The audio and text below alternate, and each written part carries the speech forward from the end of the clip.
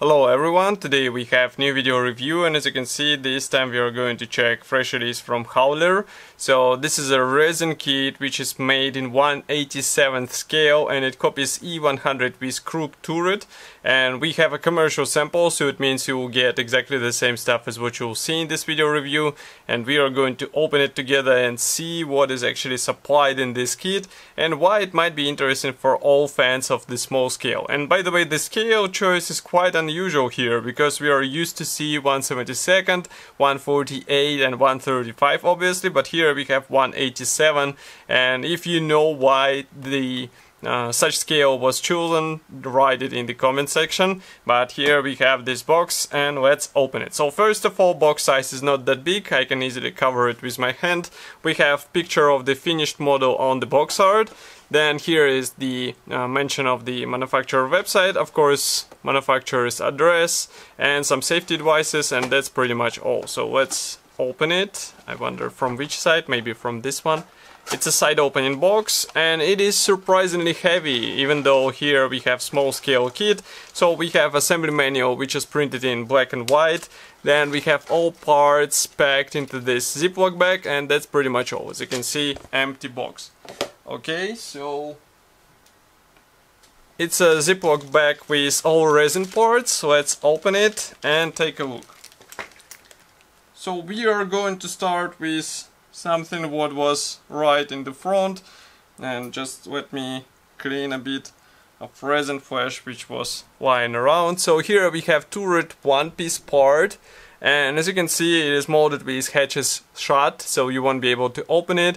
Of course the main gun is molded separately. Here we have the rear hatch which is also molded shut and overall detailing looks I would say okay for such scale but I mean it's not really I would say something unusual because as you can see these recessed panel lines are not that deep maybe I can show it even closer so you will have to be careful while uh, painting this stuff because several paints uh, paint layers and also primer layers will obviously hide these panel lines and then you have to rescribe everything once again. Here you can see it on the opposite side of the turret and here is on the front. Okay? I don't know why, but I'm as far as I remember, these lines were more pronounced on the different kits. Here they're a bit more plain. Next we go on with main gun and here we have typical resin uh, I would say feature but it's nothing to be afraid of as you can see it's slightly bent but it can be easily fixed with uh, hot water. And of course we have here the mantlet cover which is also molded as a one-piece part. But it looks funny when you have barrel like this. So it's a sad tank from Germany.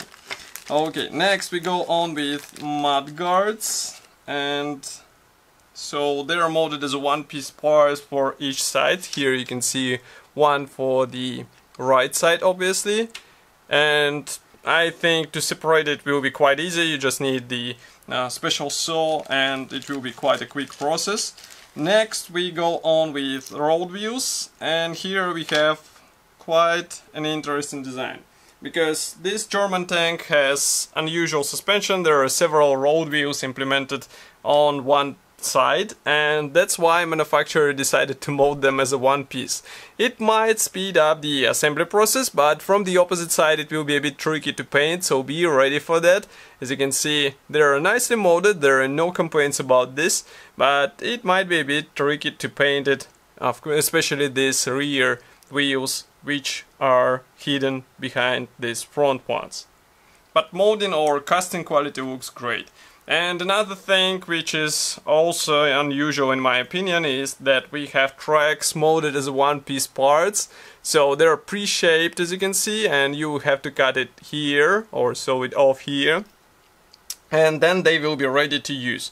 Uh, so they look fine for a small scale as you can see even though this is a small scale kit they barely fit on my palm and it will be also interesting how to fit the road wheels here, because they will have to be inserted inside somehow, so keep it in mind. Okay, and next we go on with another track, but I will I will not show it because it's obviously the same part. I would rather show the left mud guard which is also molded as a single piece part.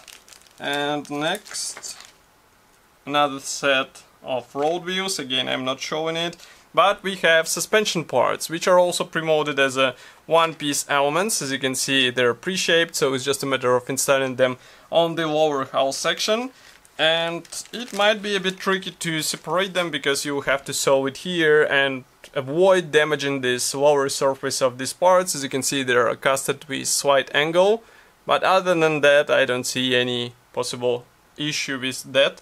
And another thing which is really funny is that we have drive sprockets and either is molded on the separate tab but note how the teeth on the drive sprockets are pre-shaped so they're molded only on one side, which hints how these parts should be positioned. Obviously, tracks will be here, where uh, we do not have any teeth, and teeth will be visible only on the free side, let's say. But it's quite interesting and unusual, I would say, design, especially for resin kit. Okay, and one more part is the main hull, which is molded as a large one-piece part and this is also quite surprising. I was expecting to see now two separate hulls but as you can see this is one piece heavy thing and here you have to cut off somehow this resin base. It will be quite a process to do because it's a thick resin base as you can see. It's as wide as the lower section. Of course you will have to install the side mud guards. Here we have this uh, small recessed spot for the turret and engine day engine bay looks nice. We have even exhaust pre-molded, as you can see rear section is more or less fully detailed. And the same can be said about frontal section which is quite smooth but it was like this on the real vehicle. But still it is, I would say, unusual design for a small scale tank and here you can see that turret fits right into the uh, main hull and makes quite a I would say quick assembly process especially if you will manage to delete all this uh, extra resin then it will be even quicker but do not forget that as far as you can see this circular top should stay in place because it will be fit here in the main hull and maybe it will provide extra strength for the overall construction. And now we can zoom out because we also have the assembly manual. It is printed in black and white as you remember. So what do we have here?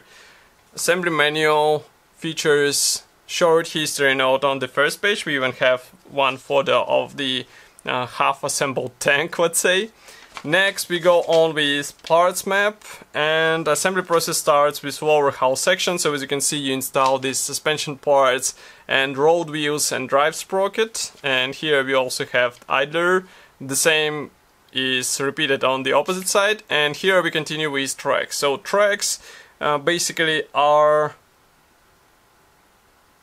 I would say put onto the road wheels. Why I'm a bit confused because I see teeth on the front section not on the empty section and in my opinion it's a bit strange because from one side, yes, they should be visible through the tracks, but from the opposite side it will be just a plain uh, drive sprocket on the um, inactive, let's say, side of the drive sprocket. But all this stuff will be closed with this side armor, as you can see it is installed right after the tracks. The same is repeated here on the opposite side. And next we continue with main gun here, it is just a matter of combining three parts together, as you remember our main barrel was slightly bent. And here on the rear we have last step, it's installation of the turret on the main hull. And next you have two marking options which are printed in black and white but I think it's not difficult to understand what you have to use, as you can see it's a dark yellow and here we have typical late war German camouflage, but obviously nobody stops you from using some, I would say, unusual markings because it's more of a what-if subject, so uh, definitely uh, try to think of something unusual because it might look interesting on such big tank and nobody will complain that it's unrealistic, let's say. So this kit should be already available, you can get it on Hauler website and in my opinion it might be interesting choice for these modders who are not afraid of resin kits and ready to build small tank and of course I will be happy to hear your opinion here in the comment section below. If you like this video don't forget to press the like button subscribe to our YouTube channel and I will see you in the next video review as usual. Thank you for joining me today and bye!